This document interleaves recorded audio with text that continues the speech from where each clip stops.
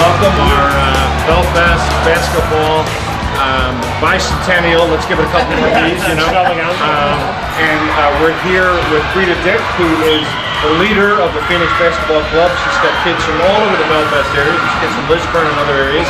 Over here, I have Simon Kennedy, and every time I introduce Simon, I date myself. I played with Simon's dad, but Simon Kennedy is here um, as well, and he is a national level coach um, um, in Ireland with 25 kids. Um, uh, under 16, I think the youngest we have is 13, along with our 200 plus other kids um, at Mount Aloysius. Uh, Breda, what's it been like? Unbelievable.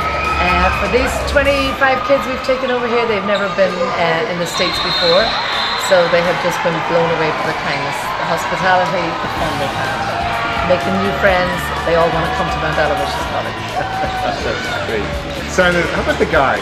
They're, they're, they're enjoying it. How do they feel about the competition? Oh, well, I think they were very nervous when they arrived, you know, and then some of the kids were, were delighted when Michelle greeted them at the gate with the big wave, and then, and then as soon as they got into the competition, first couple of days were a wee bit nervous, and then boom, they were just straight into it, they're all, they're all diving around, they're crazy, and the All-Star games, they're singing and chanting, and, you know, they're getting the t-shirts signed as, as, uh, uh, as we uh, moment, mementos, you know, so they're having an absolute ball. Yeah, that's great. And they're playing well. Uh, five of the Irish kids, six of them actually, made the All-Star team here, uh, which is great. I'm not sure everybody expected that to happen. You don't have a whole lot of people on an All-Star team. Uh, so it's been terrific.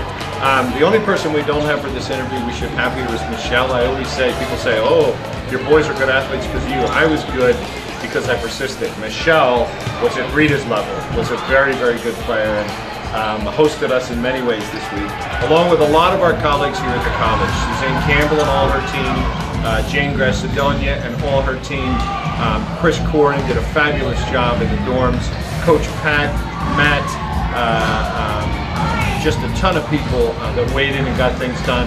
Believe it or not, I was a basketball player um, in my day, um, and 30 plus years ago, when I was working as a volunteer in Northern Ireland in Belfast, in the midst of the troubles. Um, one of the sports that actually helped unify people was basketball. Um, and I worked with a group uh, uh, that won the Nobel Peace Prize, and one of the things we did was run sports clinics where we could get people of all persuasions in one gym. Um, for the college, um, I want to say dozens of people have been able to engage with these young people uh, from Northern Ireland.